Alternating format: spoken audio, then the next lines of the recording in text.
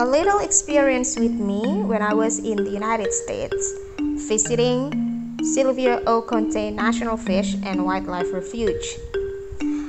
This must be a very exciting journey when I was visiting this place because I never been participated in any natural activities that were very educational like this one. So let me tell you one thing that I like from this place. The first thing was related to the activities that they provide. This place was managed by the government, and a lot of officers also took care of the surroundings, including the plants, the animals, and also the activities itself. We visited this place in the late autumn, and it was a very beautiful place to visit, even though the weather at that time was really cold. So I had to wear, you know, some sort of coat, kind of. So that was so interesting to see me, you know, wrap up on a very thick clothes. I also found that this place offered numerous types of activities, including archery,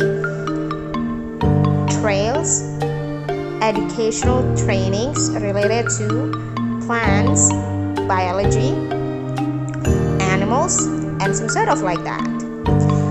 So we spent like two hours learning about the animals around the conservation area.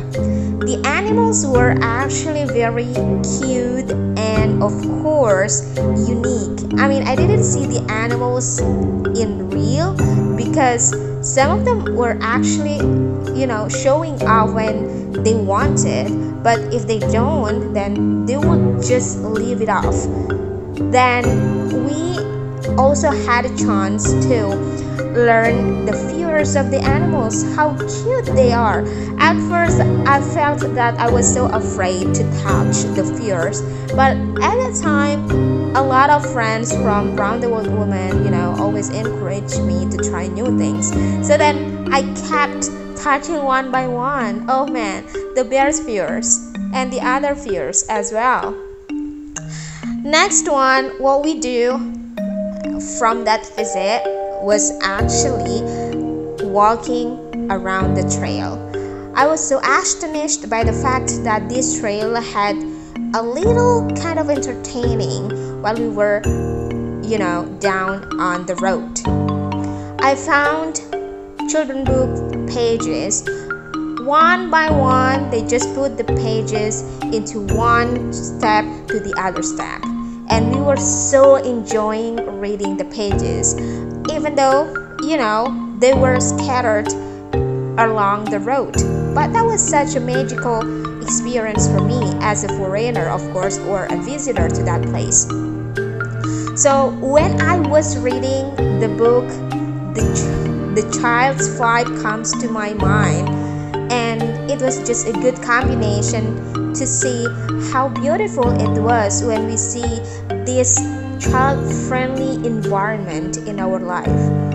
How mesmerizing it is to see the combination between the peaceful experience that the kids who are visiting the place, how beautiful it is to see the educational vibes that this forest can offer, even though they are just plants and animals.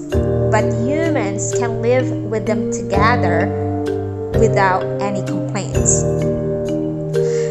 In the next journey in this place, we were also visiting some rivers, which was actually connected to the Connecticut River. We spent a lot to talk about the nature itself, our experience with the nature, talked with the officer about their experience protecting the plants, the animals, and that was really sweet. I couldn't imagine how calm they were the savior of the the animals and all the the, the, the natural creatures that maybe weren't visible to our eyes. So that's the first experience with a conservationist in the United States.